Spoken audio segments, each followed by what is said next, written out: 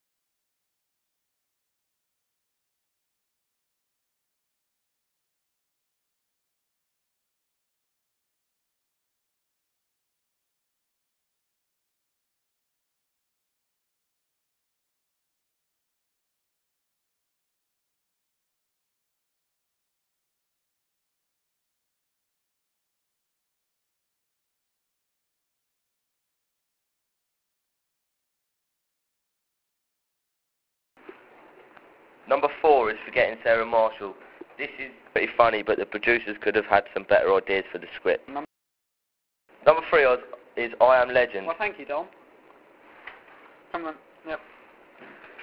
This film is very good and was well awaited. This film has an excellent storyline, but I wasn't too keen on the ending as I could have left it open for a sequel.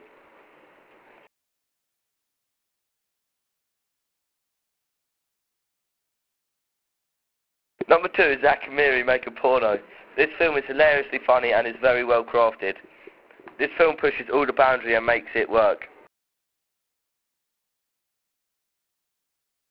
Finally, my number one film of 2008 is Saw 5. This is the best film that has been out in years and makes all the previous Saw films look like a children's movie. The special effects in the film are amazing. I think it's definitely a must-see.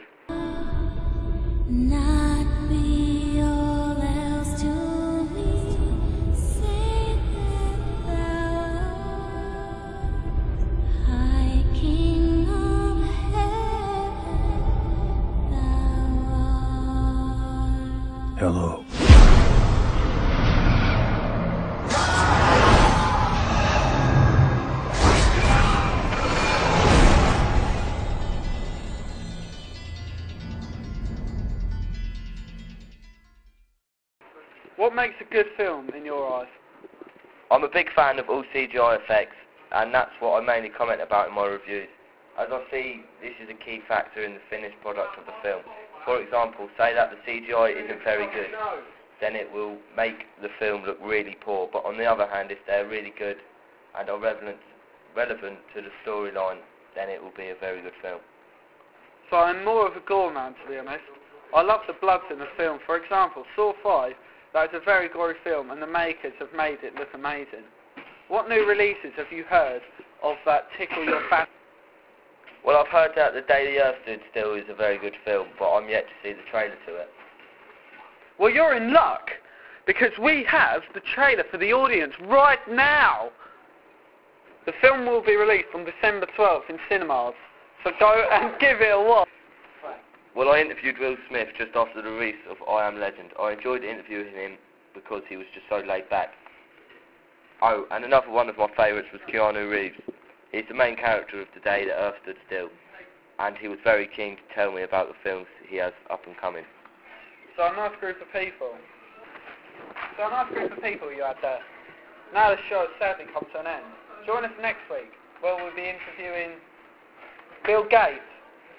It's been a pleasure to have you on the show, Dominic. Well, thank you for having me. Thank you for tuning in this week, and next week, next week we'll have Russell Brand's on the show to speak to us about the Surrounding the Radio show. And thank you, and good night. Love was all I had in this life.